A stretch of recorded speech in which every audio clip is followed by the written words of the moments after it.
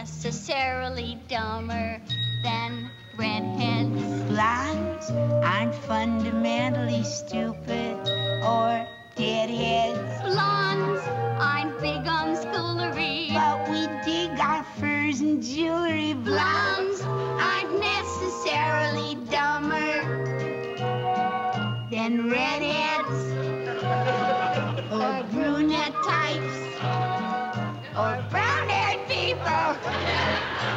Blondes aren't categorically saccharine or silly. Blondes are hip and thoroughly modern, like Millie.